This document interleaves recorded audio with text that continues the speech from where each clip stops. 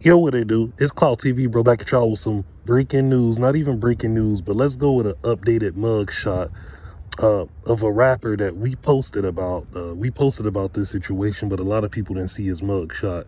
But his name is Lil Zay Osama. Uh, a lot of people been tagging me like, yo, Clout, have you seen the updated mug shot of him? I didn't. I scrambled to the internet as fast as I could, and you know what? I seen it. It looks like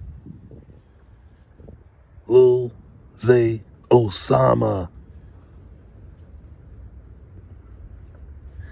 His mugshot is going super viral right now. This right here is his mugshot after robbing a jeweler with a machine gun and getting away with like $90,000 in jewelry.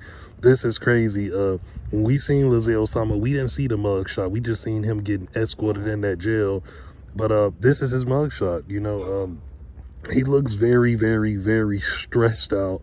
You know, this guy keep getting locked up. He belling in, belling out, belling in, belling out of jail. People keep tagging me. They tagging me like, clout, clout, clout. I'm getting tagged. I'm getting tagged here. I'm getting tagged there.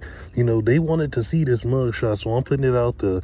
This is Zay Osama's updated mugshot right here after robbing a jeweler with a machine gun, a, basically a weapon of mass destruction. You know, Chicago is a Democrat democratic city. This is the land of the Democrats. So a lot of stuff like this happened in that city.